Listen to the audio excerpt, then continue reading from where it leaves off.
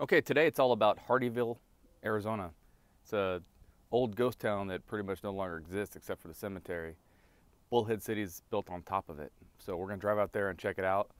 And I prepared a small little history video, as usual. So please watch it, and I will see you in just a moment. William Harrison Hardy, born in 1823 in New York, was a pioneer, adventurer, and businessman. He became known as Captain Hardy when he came across the country on a wagon train. In the mid 1860s, he built the town of Hardyville in modern day Bullhead City, Arizona. He erected a cluster of adobe buildings, including a merchant store, a hotel, and a saloon. Hardy went on to establish a post office, a ferry crossing on the Colorado River, and a mail route to Prescott, Arizona, some 165 miles away. The pioneer settlement of Hardyville served as an important ferry crossing and steamboat landing shipping point for the area mines. Sporadic ranching, mining, and milling activities could be found in the area until the 1900s. As mining decreased, Hardyville eventually became abandoned. It became a ghost town. The modern Bullhead City was built on top of the old settlement decades later. Sadly, a small cemetery is all that remains from Hardyville's existence. Different accounts state that anywhere between 15 to 2 dozen people are buried there. The Arizona Pioneer and Cemetery Research Project identifies and gives details of 11 people. These people include a 16 year old female who died while giving birth, a blacksmith who was murdered, at least two people killed by local Native American tribes, and a stagecoach driver who was accidentally shot in the head.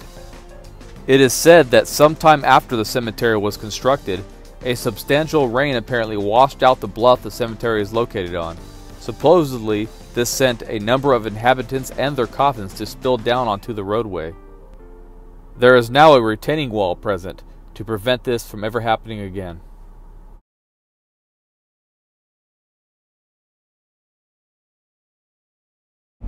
Here we are crossing into California at the checkpoint from Arizona on Interstate 40.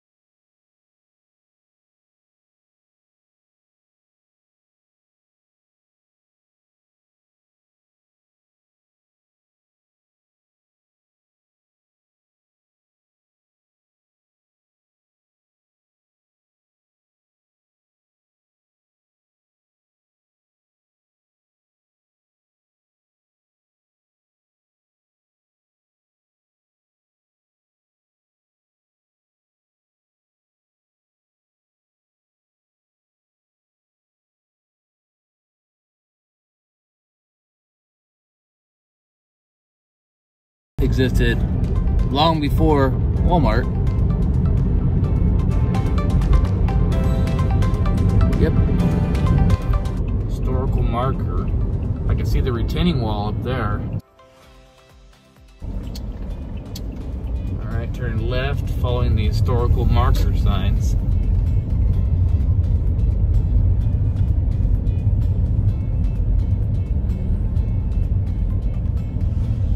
I see it. Just up to the left, there's a brown sign. My guess is that's it. Because it would make sense. There's the Hardyville Cemetery.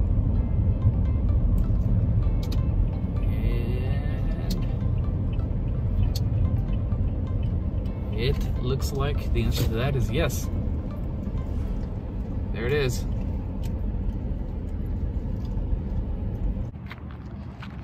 All right, here we go, Hardyville Cemetery. It's a very interesting history.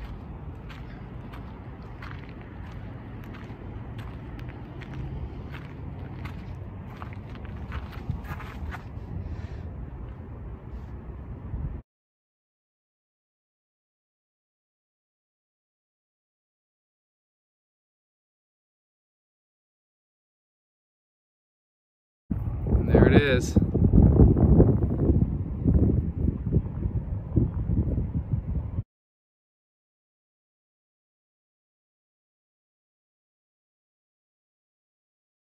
Yeah, there's all the mounds we were talking about.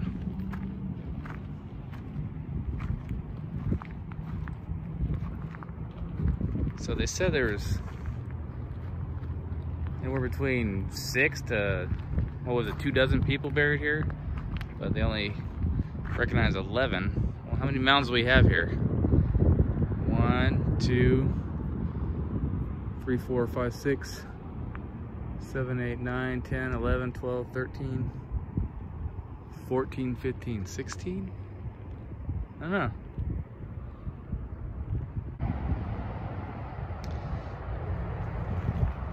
So, as you can see, here's the highway right below.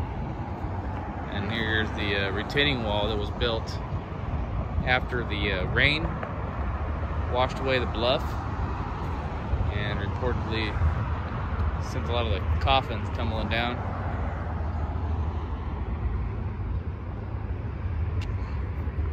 It's pretty interesting. Here you go from this angle. I don't know who's who because I don't see any gravestones anywhere. So three more. These are kind of separated from the, the rows over there.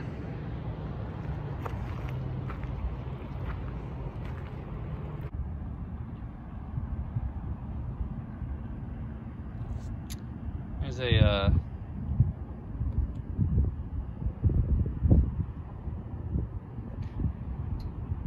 what used to possibly be a some kind of grave marker. That's the only one I can find around here though. They did say that a couple of them ended up in the local museum. I'll have to take a visit to the museum sometime. It's another shot from this angle. All the grave sites are apparently over there. It's flat on this side. There's an old fence. And there's probably part of the same wall that was built when the rainstorm hit, or after the rainstorm hit.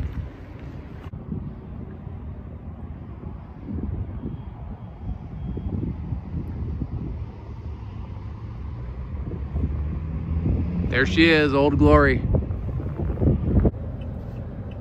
There's the Safeway. It's uh, right across the street from the, um, the cemetery. There's the old wall. Well, it's 122 degrees outside, so time to get some of that coolness. Had to stop by and get some deliciousness. It really helps in this hot weather.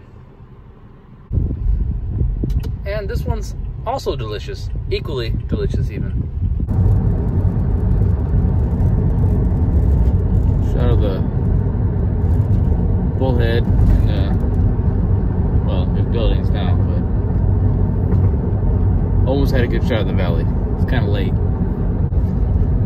Here's the valley. Heading up towards Fort Mojave, Arizona.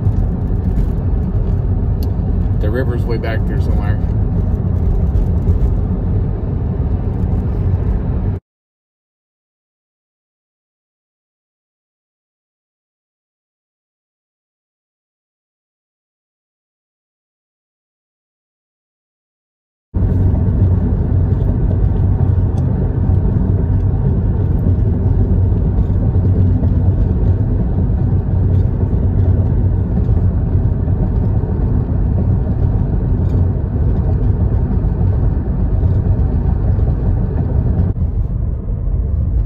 Okay, heading back over the Colorado River from Arizona to California.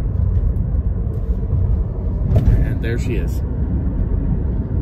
You already know.